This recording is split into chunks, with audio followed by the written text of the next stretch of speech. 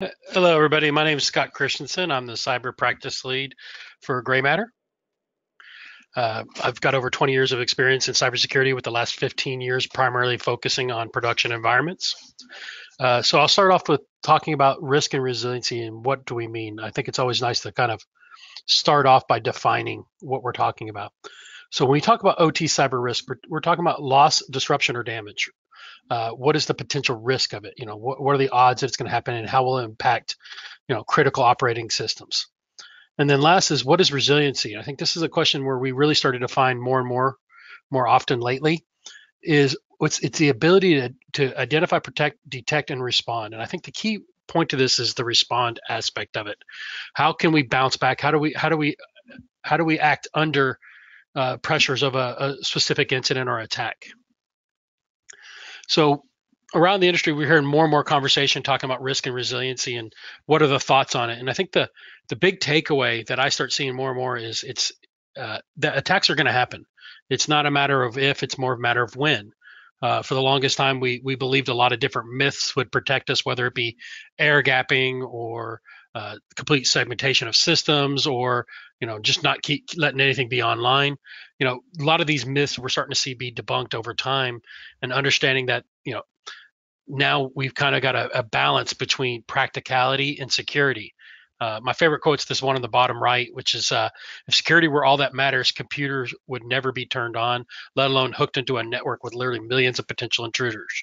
Uh, a lot of times when I'm brought in to talk to a customer, uh, to a, a, partner, or even just uh, a presentation, uh, the first conversation comes on there's a, a sliding scale of extremely secure and extremely practical. And I ask every customer to kind of find yourself on that balance. You can be extremely secure, you know, unplug everything, but that's not very practical. Or I can be very open and very practical, but I'm not very secure. So it's always a key component to finding where that balance belongs and where you sit on it. So, kind of a, a, few of the histories of OT cyber attacks, and I, I always like this slide for a couple reasons. Uh, first is that very first attack. Uh, a lot of people seem to believe that OT threats only started coming about 2010, 2011 under Stuxnet, but the oldest incident I could find was actually 1982.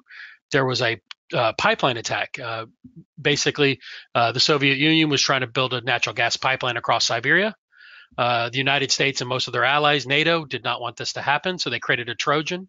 And specifically, what this Trojan did is it turned off all the safe operating settings on valves and compressors and turbines. And so when they all exceeded their their threshold, they blew up. Uh, so it was kind of a unique in the fact that this was, you know, 36 years ago, 30, you know, 38 years ago. It's it's been such a significant length of time to show that we've had a long maturity in OT cyber attacks.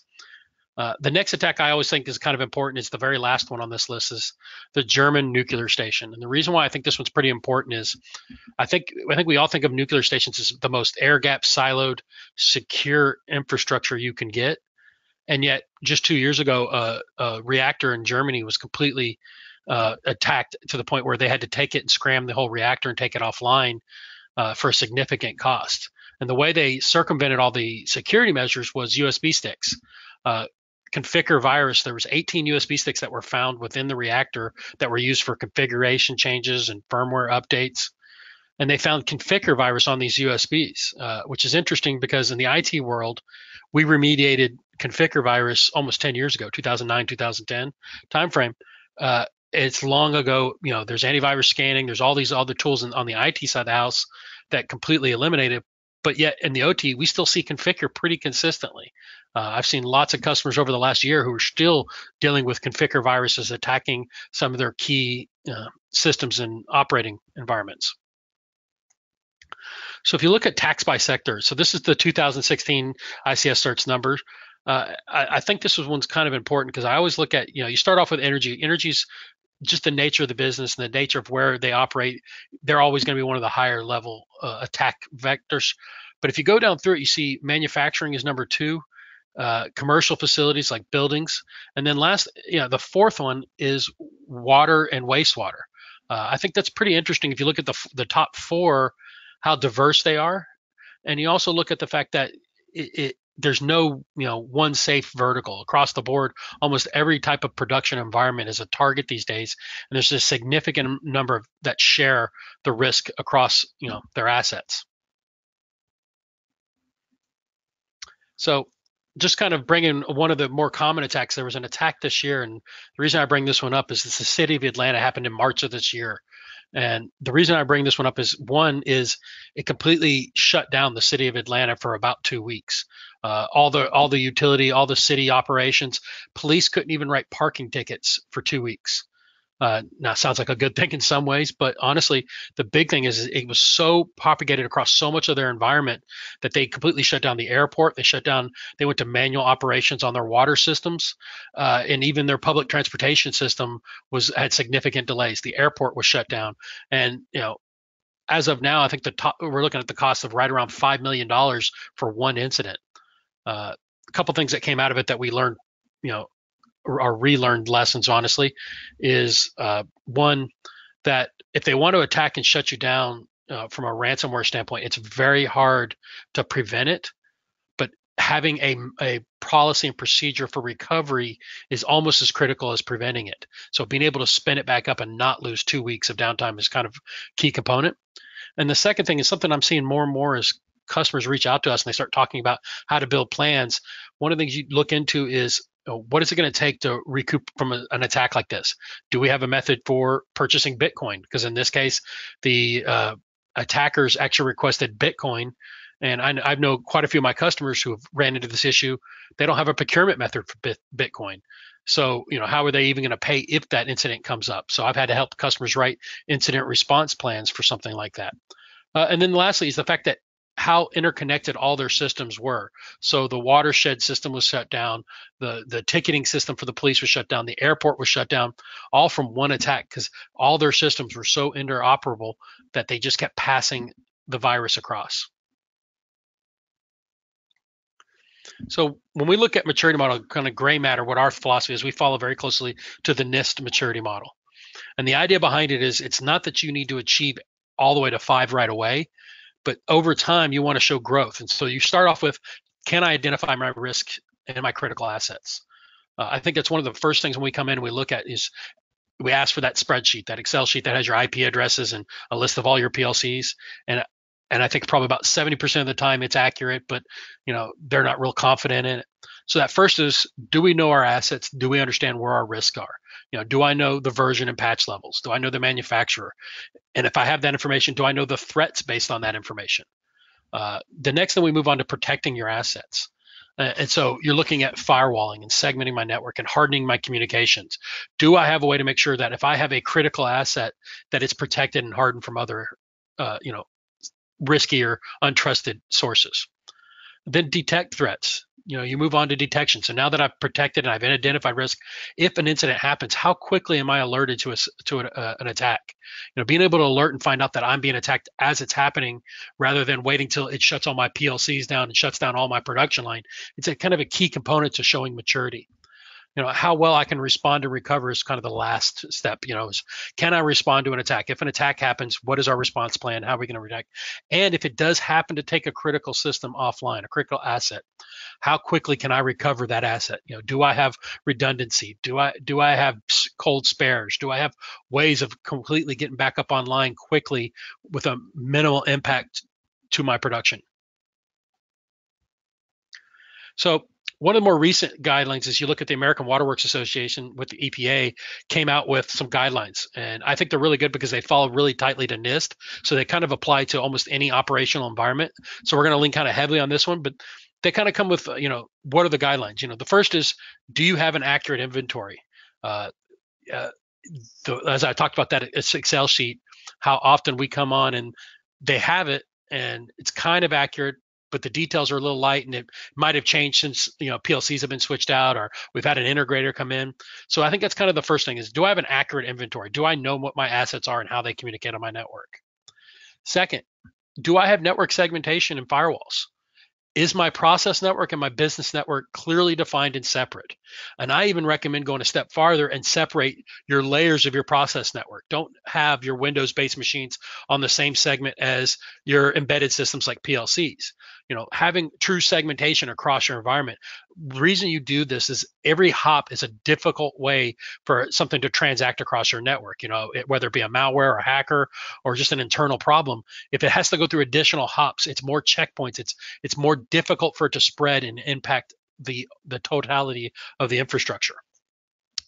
Then the next one secure remote access uh, oftentimes we come on site and vendors mandating remote access or uh, they even require it for support. And we see things like you know LogMeIn, or we see things like TeamViewer and they're completely circumventing all security rules. They're giving complete access to the network and they're doing it out of the convenience factor, but they're not realizing they're opening themselves up to a whole new level of risk. So if you accept the fact that remote access is coming or that you need to support it, having a secure remote access and having an approved method of uh, accessing the information is key then establishing role based you know oftentimes we basically just give everybody a username and password and don't establish do they need access to everything you know having different levels of roles you know i don't necessarily want you know someone who specializes in you know my my HVAC system to be able to access my my pumping equipment on my water facility. You know, I want to make sure that I I can segment and control who has access to what and be able to separate those those roles and responsibilities. Uh, strong passwords, right? You know, I think we've all kind of learned over time with all the attacks and a lot of the things that have happened in you know in, in the technology world the last few years is you can't just have password one two three but beyond that add in you know uppercase lowercase add in symbols you know make it a little bit harder because every every addition to the password that's required is a, a level of complexity to breaking the password uh, maintain awareness of vulnerabilities uh, I'm a big fan of ICS and the simple fact that I remember the days before when vendors were not real responsible with disclosing and they kind of kept their, their, their vulnerabilities to themselves. So at least with ICS-CERT, there's a, a, a wealth of data on what vulnerabilities are out there. I encourage you if you're particularly you know uh, committed to a spe- specific vendor, you know whether it be ABB, Rockwell, GE, Honeywell, Siemens, go look and see what their their uh, potential vulnerabilities are and see how they might impact your environment, or or bring in someone to look and be able to identify the CVEs, the common vulnerability scores, to see what the risk is to your environment on some of these things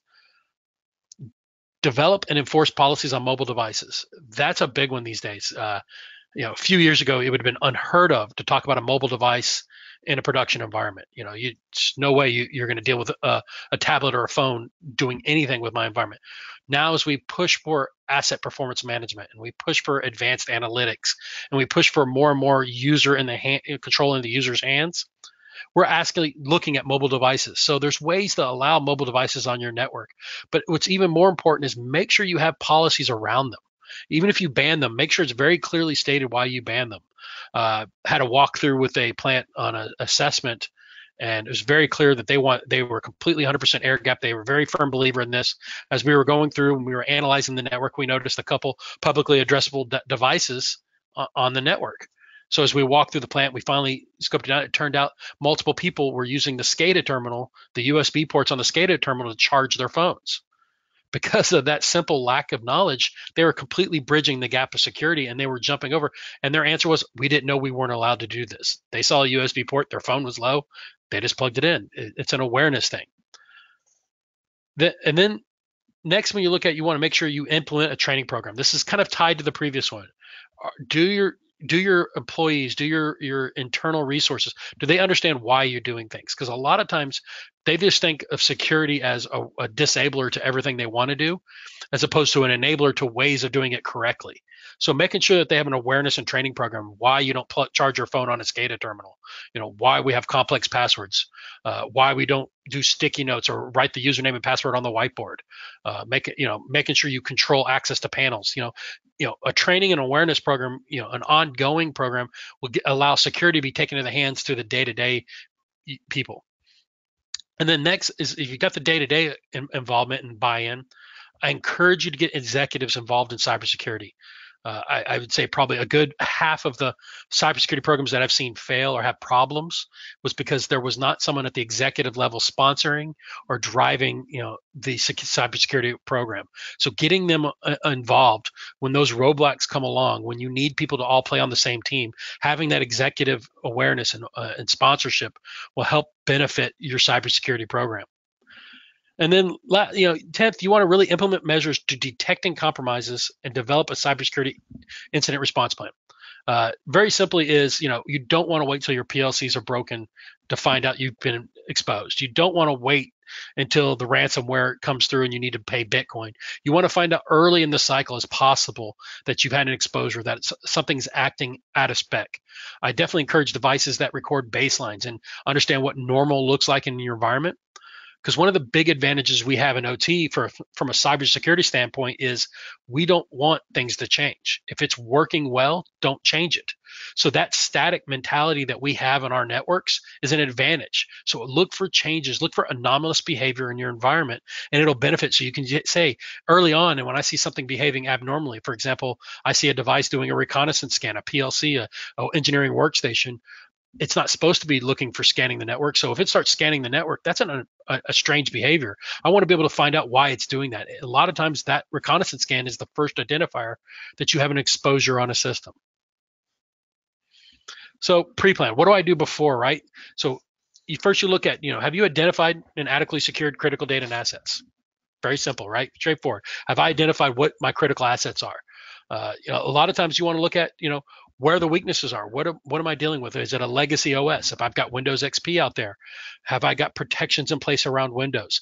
You know, those type of things. You want to be able to identify those things first, and then put controls around them, and then start looking for what what are the anticipated threats. Right. So if it's a vendor bringing in a USB stick that might be infected, do you have a procedure and controls around how USBs are entered into your environment? Uh, I've seen CISOs go as far as super gluing USBs on the OT environment just to prevent anyone from plugging a USB in. So, you know, don't necessarily have to go to that extreme, but really understanding, you know, where the, you know, where the anticipated threats might come from and where you're most vulnerable and how to control and protect it. And then I also am a firm believer in doing assessments and I'm, I think of assessments as you don't do it one time and say I checked the box, I've done an assessment. I look at it from time over time, compare results from previous assessments to new assessments. Are you showing maturity? Are you showing growth? Are we fixed issues? So, for example, if I come on in site and say you need to have a patching policy, the next time I come in a year, two years, eh, you know, I look I look to see is that is that patching policy now implemented? Are you got controls around it? You know things like that. You start looking for the maturity so that you can actually see and grade yourself am i improving and mitigating risk t- time over time? And i'm a firm believer assessments need to be cyclical. They need to be scheduled you know have them annually or biannually or every three years whatever it might be.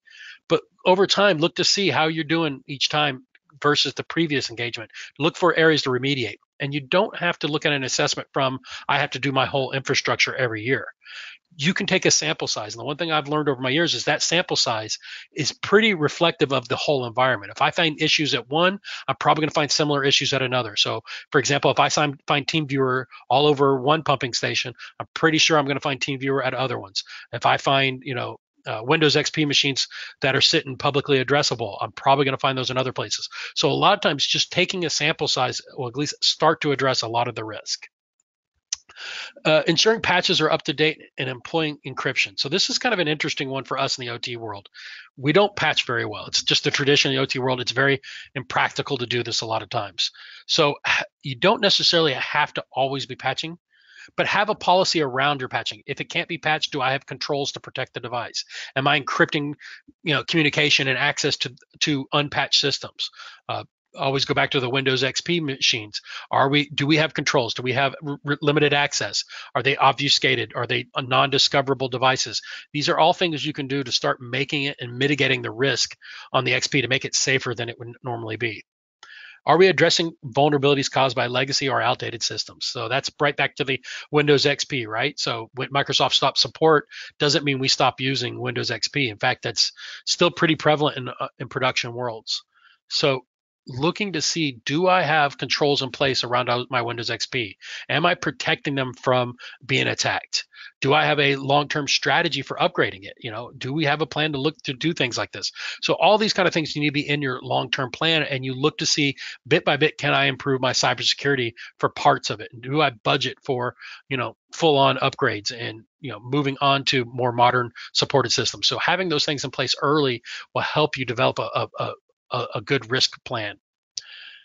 And then the other is do you have a good explanation to give clients, constituents, and customers? And this is something that's a lot of times people don't look at the risk from the reputational standpoint.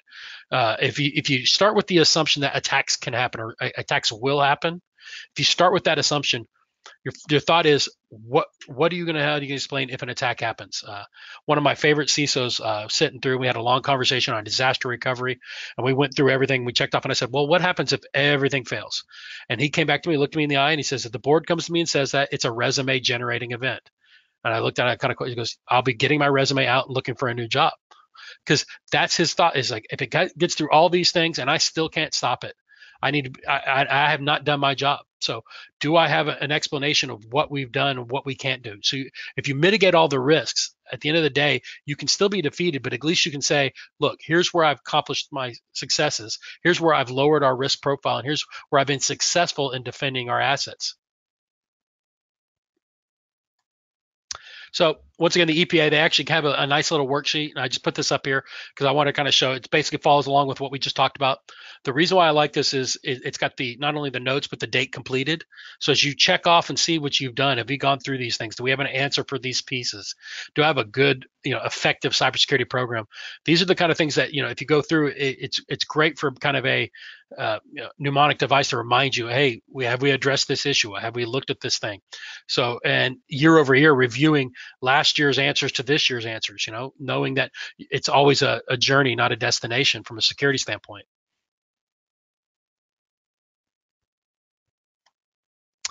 So I talk a lot about IT versus OT, and you know, and and I'll start off by saying, first of all, the most successful cybersecurity room finds a way to bridge the gap. They converge the two groups in some way, shape, or form from a security standpoint. Uh, mainly because a lot of the best practices for cybersecurity already sit on the IT side of the house. The problem is there's a priority shift when you go to the OT side of the house. So understanding that priority shift affects a lot of the programs and ways we develop, uh, you know, our systems on on the on our on the production environment.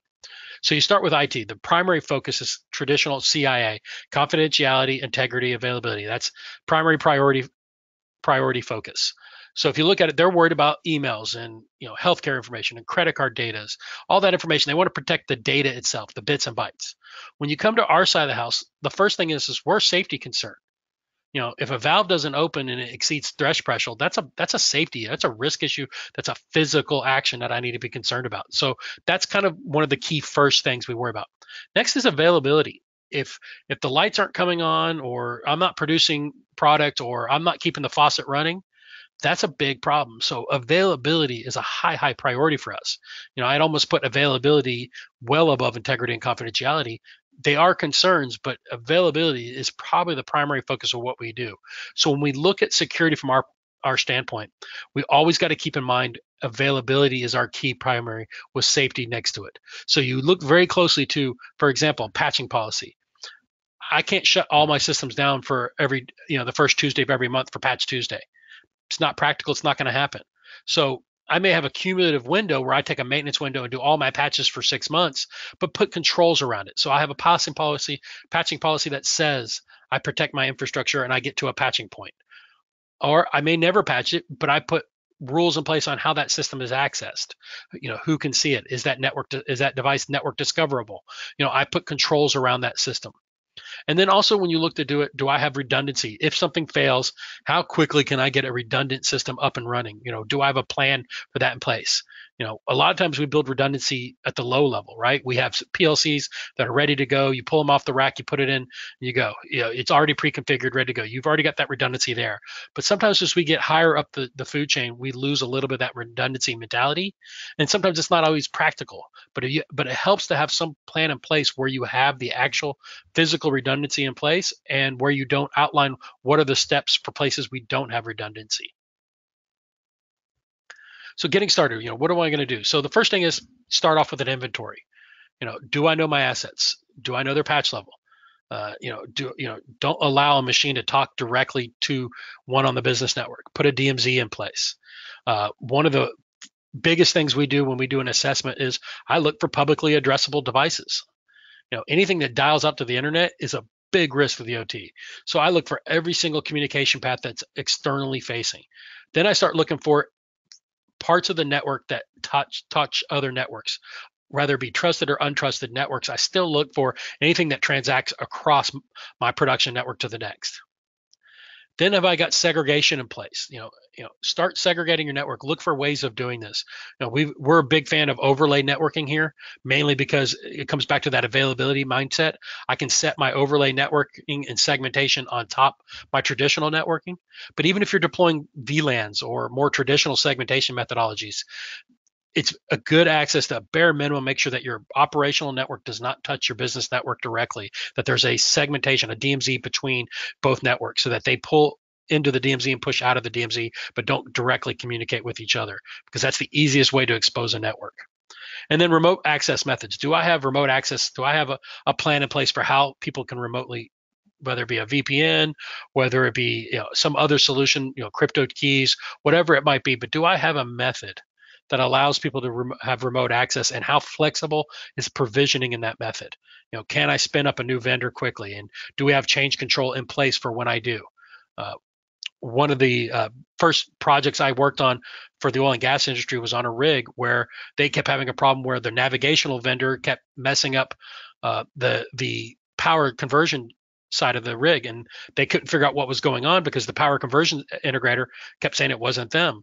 So once we did the delineation of uh, the network and segmented across even within the process control networks we, we started noticing a, a, a, much higher uptime. And that's the key to what we do right? Is can we get more out of these devices? Can i get more uptime? Uh, you know at the end of the day i look at cybersecurity as another example of unplanned downtime which is the killer on in our world. So making sure you have that in place is always helpful establishing roles. And this is real important. You know, do I have admins? Do I have people who have you know who, who who control And do I log their access to the systems? As I that previous example, the only way we found out it was the navigational integrator is we went back through the logs and we had to we manually went through and checked and finally figured out what was going on. Is they were overlapping and they were causing issues and conflicting messages on the network. So having those logs allowed me to go back in and figure out what was going on. But also, the first key is the logs are a lot of times indicators of behavior that's anomalous. So looking at logs and seeing, you know, failed login attempts and, you know, you know communications out you know any any type of session data it, it's very useful to be able to look and see things that are anomalous behavior things that are odd like if i see a bunch of failed logins you know 100 or so to the network from an external source i know someone's trying to get in whether it be you know a bad actor or just an internal resource who forgot his password, I need to be able to track that down and figure out and validate which it was. Uh, requires strong passwords. We've kind of covered that. It's pretty straightforward, right? You you want to have you know longer passwords with uppercase, lowercase, and symbols in it. Pretty standard across the board. Uh, stay aware of vulnerabilities, uh, as I talked about before. You know, follow ICS-CERT. Look to see what my vulnerabilities are. Do I know what my CVE score is and what my risk profile is? Uh, and then enforce policies. Uh, uh, it's always a big one, whether it be for mobile devices or in general in an environment. You know, uh, I can write all the policies in the world, but if I go on site and no one's enforcing them, it's kind of pointless. Uh, I go back to the username and password on the whiteboard. I can write all the great username and password policies you want. I can make the, the most strict, strongest. But if I walk the plant floor and I go into the control room and I see the username and password up on the whiteboard, you defeated everything I've done. So I've not enforced. No one's enforcing that policy. What you know, and, the, and same thing on mobile devices. Uh, the the habit we get is, well, this is my phone. I I can do what I want. But if it's accessing any resource on the production network, it needs to follow the same guidelines as any other asset you know, developing a cybersecurity training program is pretty straightforward. Even if it's once a quarter or once twice a year, uh, even yearly, you know, some level of measurement of awareness. And we're very common to the IT traditional cybersecurity program, but on the OT, we very rarely get a training program around that. You know, understanding why we do things, why there's segmentation of the network, why we don't just you know dual home devices that connect to the business and process network. You know these are these are kind of awareness things that you let people know so that as they develop and things add to the systems you can be made aware of what's going on there.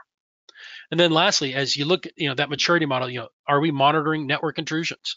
You know do we have a plan to respond? You know i think that's a, a key one these days. You know are we looking for you know potential exposure points in my network? Are we running pen tests? Are we running vulnerability assessments? Or are we running continuous monitoring where I'm tracking what's happening on my environment as it happens. Do I have a connection back to the SOC, you know, the Security Operations Center? Uh, am I using some type of SIEM, you know, uh, like Splunk or LogRhythm? Am I, my, am I looking at the alerts? Am I looking at the behaviors of my network? And am I quickly responding to issues in my environment? So GrayMatter. So where we look at some of the offerings we do and how they align, right? So the first is we look at a lot of times is the architectural assessment. So looking at your architecture, do you have redundancy? Do you have segmentation? Are you following best practices such as NIST 800? You know, look at the current state, you know, where you are today, what can be implemented, but also look at a future state, you know, as you develop out, as you get cloud and you get analytics and you, as you interconnect more of your devices, you know, having a plan in place early on is very valuable. So having that architecture ready to go and have it designed and have a, a, security mentality in place makes it much easier than trying to bolt on security after the fact. Uh, risk assessment, just what it sounds like. Coming in and identify first all my assets, you know, version, patch level, manufacturer, and then compare them against known vulnerabilities. You know, knowing threats, going out there and be able to come back with here's things you need to, you know, uh, you know, you may need to be patching this system because there's a very high level critical exploit out there.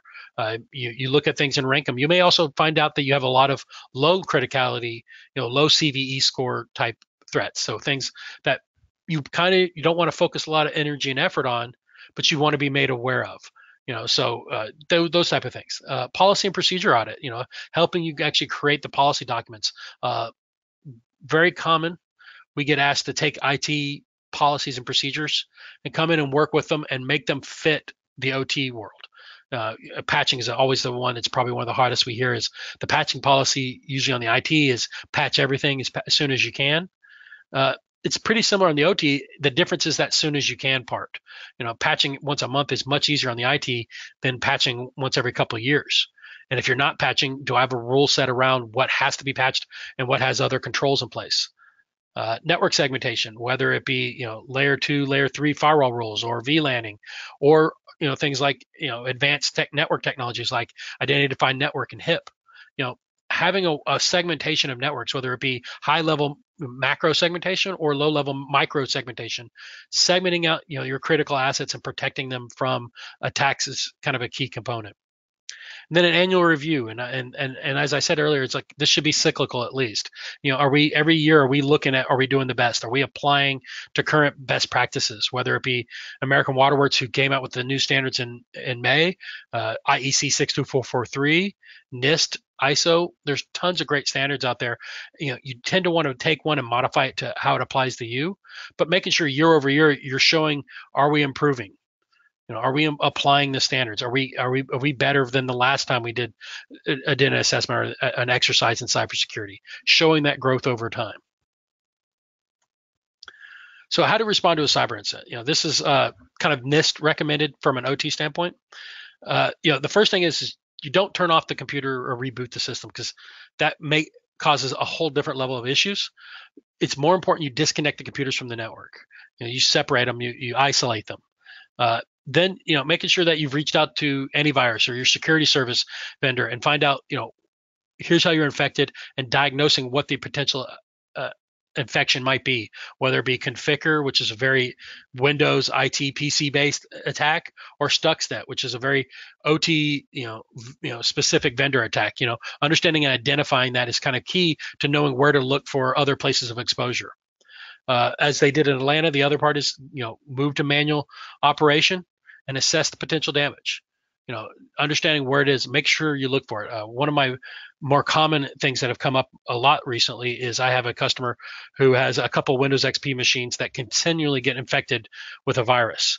Uh, we found out, you know, every time we rebuilt it, every time we put it back on the network, within days it would be reinfected, less than a week every time. So one of the things we did is we obfuscated the traffic. We we put a overlay network on it, encrypted all the traffic to and from, isolated it from everything else, and the and the system because it's no longer discoverable and it's no longer found, it's not been infected. It's been up and running for six months with no infection, and this was you know after a, a two year period where every single week it was getting infected with a specific virus.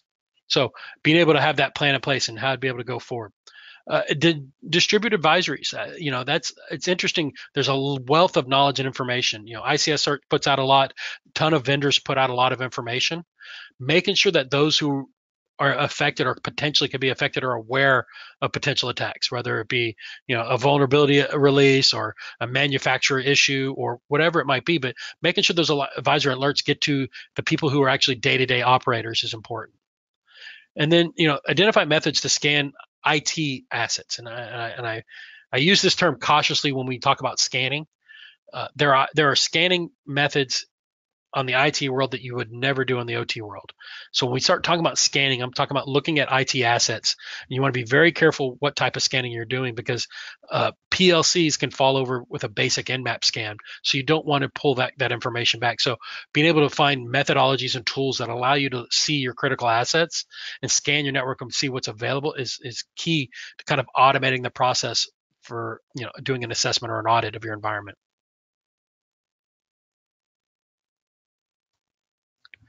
So network asset mapping. So we're big fans of uh, doing this through an automated method. We we, we support and uh, promote a product called CyberX.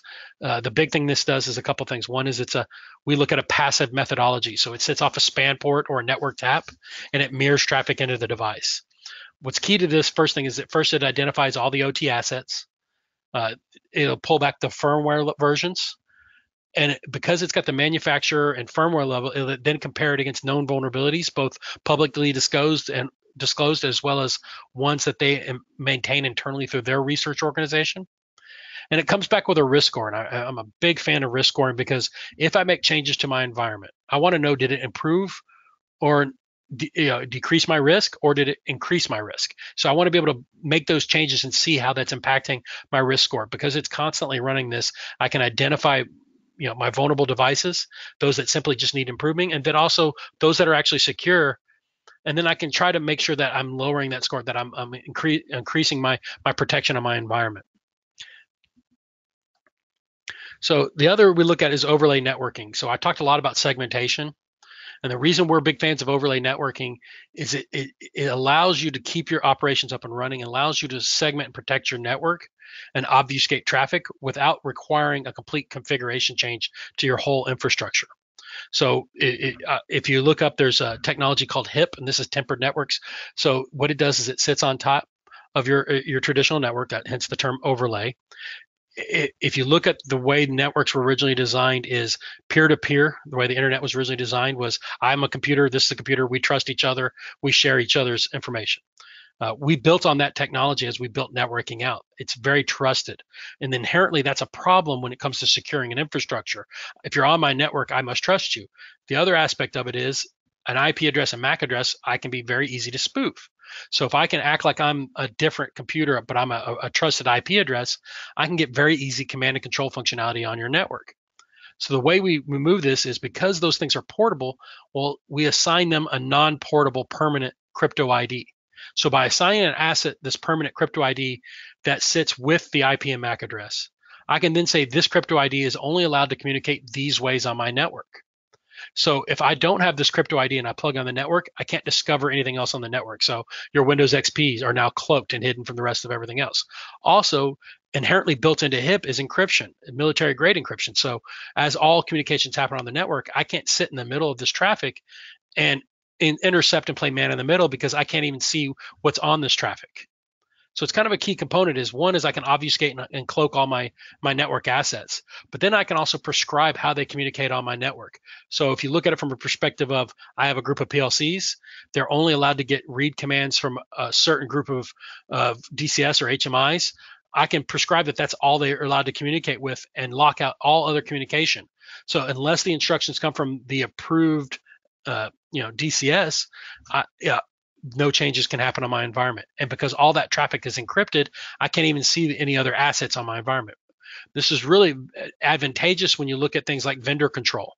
I can micro segment out, and when a vendor comes on site, I can assign them and say, these are the PLCs you need to be working on. I can give you access only to these PLCs. And when he plugs in, that's all he's able to see on the network. And in inverse, because we can assign crypto ID and the networking underlay doesn't become is not as a priority other than for transport. I can also use this to manage remote access.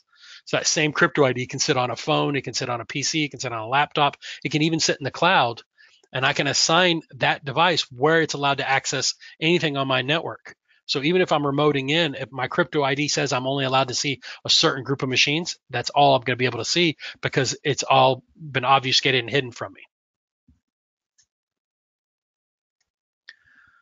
A little bit more on this, and the idea that behind it is uh, the fact that it comes in a lot of different form factors. And when we start talking about one of the big values and we talk about resiliency, one of the great things of this system is because eh, the underlay network becomes transport. What I can now do is then I can put a device that has, for example, Ethernet as its primary, and I can have cellular as a backup. So if my Ethernet fails or I'm getting a, a, an attack, think of a denial of service on my Ethernet, I can fail over to my cellular. And because I'm failing over to a completely different network infrastructure, I completely circumvent any attacks. But because my crypto ID is still controlling what assets I'm allowed to see, I don't have any impact on my production. Even one better is I can actually have multiple SIM cards and have multiple cellular networks in one device. So if I'm having a problem on one cellular network, whether it be an attack or just a, a, a quality of service, I can fail over to the other. So I can go from AT&T to Verizon with a very low gap in between. It also allows me to interact, interact with regardless of the form factor. So if I want to set up in cloud and I want to access AWS, I can actually have a crypto ID sitting there. I can have actually an appliance, a, a switch in front of my assets, or I can even have it a service on a Windows machine, all communicating with with the conductor, getting its permission for where I'm allowed to see and access on my network.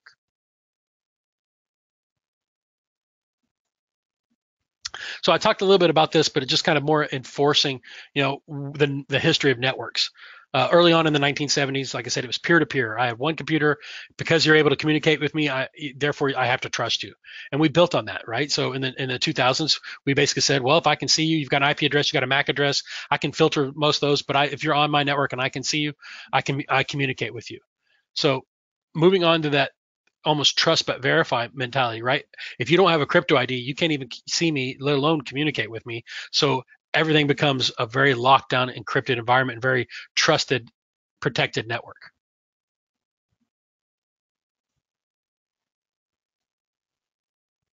Uh, just more a little bit more of you know high level on this just talking about the ease of use with it and deployment and understanding that it's pretty much a drag and drop interface. So i can list my assets the crypto ids and then i determine how their communication paths work. And they can't even see any other communication paths unless they have permission from the conductor to see other aspects within the system. So we talked a little bit about intrusion detection and being able to move to detecting anomalous behaviors. Uh, talking a little bit about what we what we look at and what we we see as an advantage is first is continuous non-invasive. That, that you know it's it's kind of a mouthful, but the biggest thing is uh, I want to be able to always be looking at, at, what's going on in my environment. I want to see any behaviors that might change my environment. And one of the most basic things I can look at is rogue devices if all of a sudden a new device shows up on my network and starts communicating with other devices on my network, that's kind of a key factor, whether it be a, a, a loud device, a provision device, or if it's uh, you know an, an attack. I want to be able to identify it and see it and be aware of what's going on in my network. So being able to have that continuously checking for changes in my network infrastructure. But also, I also want to look at you know the situational awareness. As I talked about earlier, these networks are static. You know, we can take advantage of that static nature by looking for any changes outside. You know, on the IT side, they're very dynamic. They're you know DHCP and everything else. They have to deal with always constantly changing. So it's much harder for them than it is for us. I don't want to see a bunch of new devices. I don't want to see changes in behavior. Uh, even more simplistically and granular, if I have a, a, system that I only allow read access and it all of a sudden goes to write access, that's an important change. I want to know that. So those are the kind of things you want to be able to see by continuously monitoring, mapping the network and looking for that behavior. I can see those things. And then because it's agentless, this is kind of important. It sits off a span port off a managed switch, so it's very it's very clean. It doesn't deploy touch any other infrastructure on the network. It's not going to impact production. So it's kind of a key thing. It's it's not going to interject traffic. It's not going to change commands. It's not going to introduce latency. You know, these are all kind of keys impact to that availability priority. And because it doesn't do any of these things, it doesn't require you know, an agent to be deployed. Therefore, it's not going to cause a risk to the environment.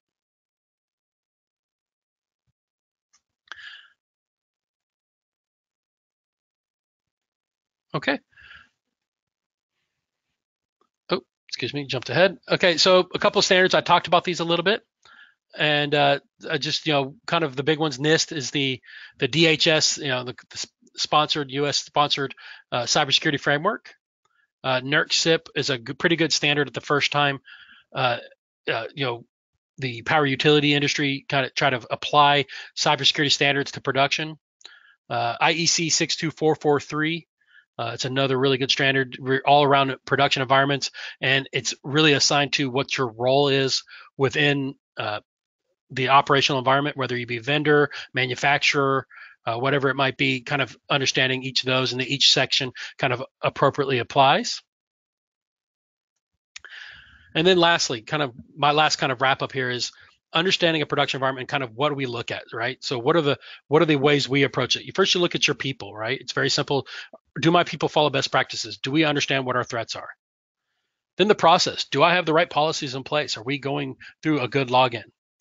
Uh, I talked a little bit about the security versus practicality. You know, where do we want to be on that scale? Do we want to be ultra secure and not very practical, or we want to loosen it up a little bit and allow us to be more, you know, more flexible, but still have controls in place? And then technology. Are, are you invested in the right tools? You know, do you have the right firewalls? Are they integrated and working together? Uh, have you tried things in the past that didn't work? Documenting what doesn't work is just as important as documenting what does work. So finding out what works and how those things and understanding and learning those lessons from them. Okay. With that, I'll open it up to any questions.